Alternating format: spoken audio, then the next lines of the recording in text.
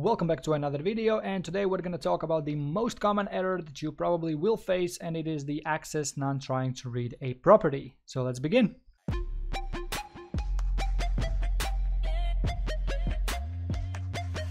So the first thing, let's try to understand what this error actually is. So essentially what this means is that the system is trying to access some kind of a value and it just simply does not exist. So that's why it's saying that it accessed none because none it's basically like empty. So in this error message right here, it's trying to read the property which is the variable called as third person character. So that's the variable it is not able to read and then over here in this one it is trying to read a variable called active camera and that one also is empty so it cannot read it. Now obviously uh, you can still play the game. As you can see I'm still able to play the game and everything is all right. Everything seems to be functioning but when we press escape we get a bunch of errors over here uh, so obviously this error does not break your game, it does not crash your game, but just simply system doesn't know what to do and then it just outputs an error saying like, hey, this value doesn't exist and I can't do anything about it. So uh, first, let's have a look at the first one that I made. So this is a very basic basic principle. So what I have over here is on begin play, I'm creating a widget and displaying it on my screen. Now this is the widget, all it has is just this one health bar and as you saw in the preview it was empty because well it cannot read its values so it automatically is going to make it empty. Now what I did essentially is made a binding for it which should display the amount of my health of, uh, of my character's health uh, here is the variable which it cannot read, which is called the as third person character. Now, all I've done is essentially just made this variable inside of my variables right here, and I set its type to be the third person character. But if we look at the default value of it, it says none. It doesn't matter if it's a single player or it's a multiplayer game, if you just simply create a variable you cannot expect it to work because there could be 10 50 100,000 actors with the same exact type and you need to specify which one exactly that is. Now there are multiple ways how you can access uh, and provide this information. You can get the reference when you spawn a thing. So let me real quick show you. So for example, if you spawn actor from class, here is the reference to that, the return value. Uh, it returns you the uh, actor object reference. So whatever actor you may you may spawn over here. So let's say we spawn a third person character.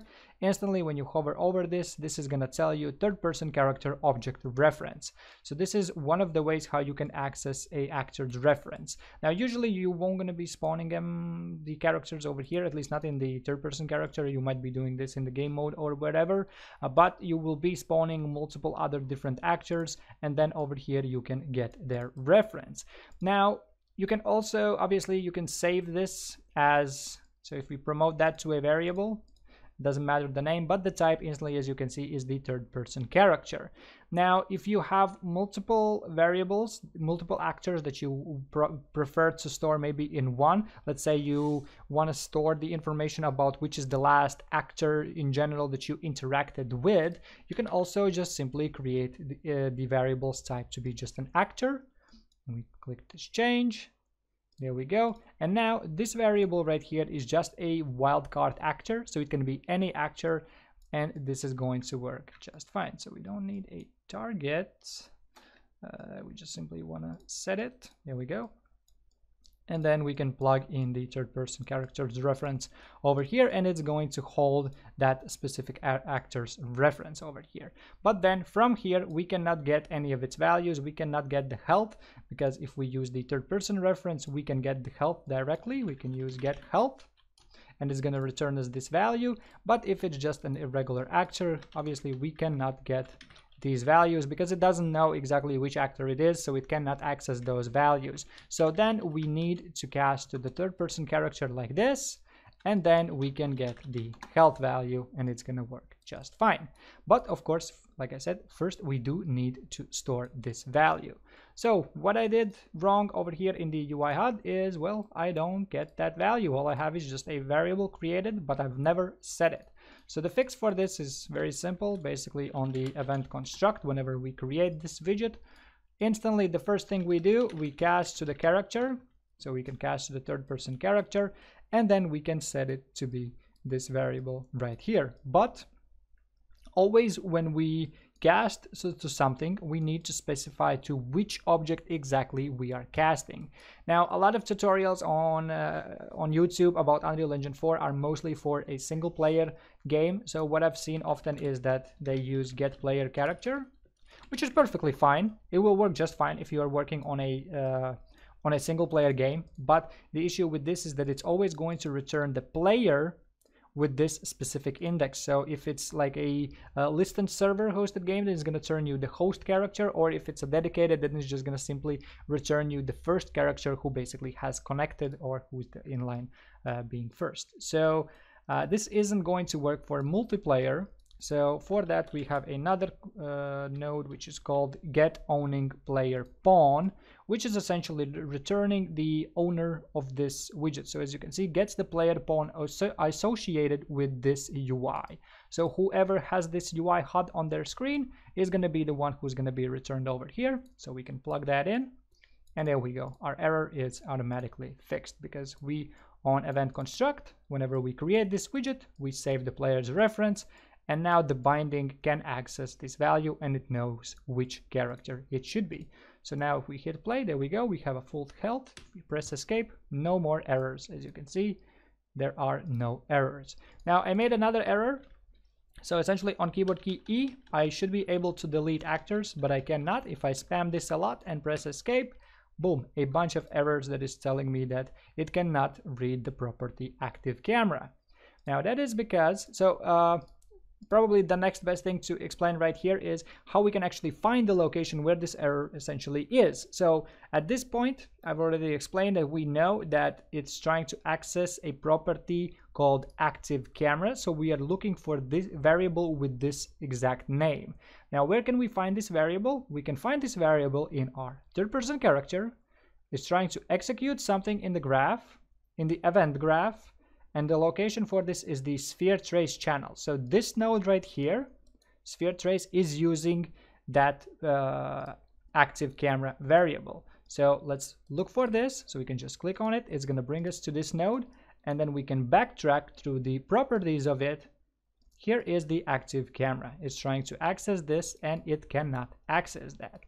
Now that is because, well, I've set up a very basic camera swap so let's say we have two cameras. We want to go between first person and third person cameras. So we want to be able to do a line trace from one of these cameras. So whichever is active at the time, we want to do a line trace from that specific camera. So what we need to do is usually uh, in my tutorials, I use the follow camera like this, and then you will see that we get no more errors. You press E and we still get an error, which is called access none trying to read the custom event target destroy actor.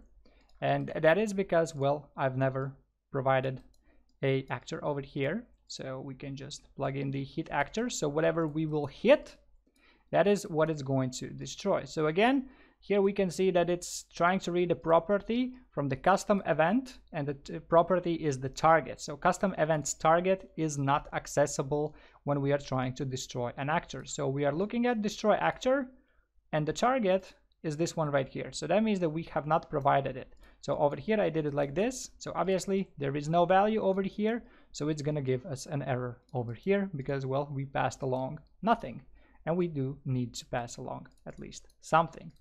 So now with the follow camera being here, with the target being provided, we can now hit play and then as you can see we can destroy every single actor in the level including the ground.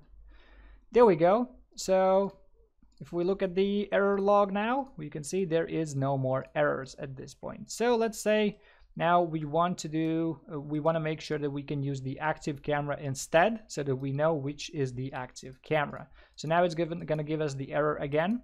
So here where we are flip-flopping between the cameras, we are deactivating or activating one and then going to the other one. What we want to do is at the end of this, we want to make sure that we are setting this active camera variable so that we don't have to check uh, which camera we are activating, uh, which is active right now we can just simply use this value. So over here, I'm activating the FPS cam. So I'm going to grab my FPS cam, plug it into here. And at the bottom, I'm going to do the same thing with the follow cam. There we go. Now we can hit play.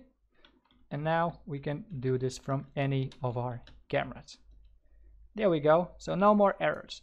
Now, a few more small details that might be a little bit handy. So for every single variable that we have, uh, well, with the actors mostly, we can do a, a couple of checks.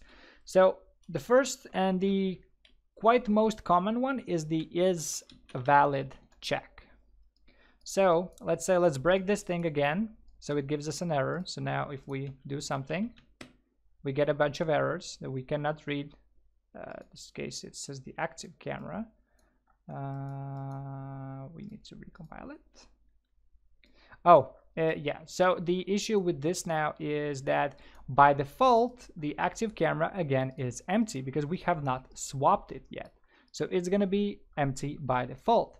Now here comes this node right here will be very, very useful. So what we can do over here to avoid this error is to go ahead and check before we access that specific variable, which is our active camera, which gives us the error. We can check whether it is valid. Now, if it is valid, then we can proceed with the code. So over here, you will see that. Now we spam E. There are no more errors no more errors but as you saw also the code did not work that is because it is constantly going to return us that it is not valid and it's not going to be able to do nothing about it so what we can do over here is well for this situation right here what I would personally do is on begin play I would set my active camera to be the third person one, which we are using by default. So that would be the fix that I would probably do in this specific situation. But what we can also do is do the same thing over here. So whenever it returns us that it's not valid, we can set it that the follow camera is our active camera at this point. So now at this point, this should be functioning just fine. But here we have another issue with this one we recreated that error. So now if we press a bunch of E you will see that now it's back to the uh, trying to read property custom events target because well I unplugged the target over here. So it's very useful sometimes especially in the online match uh, online games. It's a bad thing if you have it. You might want to backtrack to see what went wrong but before destroy actors it's often a good idea to basically just check whether if it's valid so it doesn't give any unnecessary errors. But ideally it shouldn't be giving out this error at all. It should be fine uh, right off the bat. There we go. So we're going to check if that is valid. And now we're going to receive no more errors. Obviously it's still not going to do anything. We have no errors but it's no longer giving us the error. But if we provide a hit actor then we should be just fine. There we go. So now we can again destroy the actors. So that's a very quick and simple way how to fix this this issue. So the is valid node is going to come in quite handy uh, because often maybe on the first uh, first action uh, something is not yet valid. So maybe you want to make sure that you create it uh, during that process.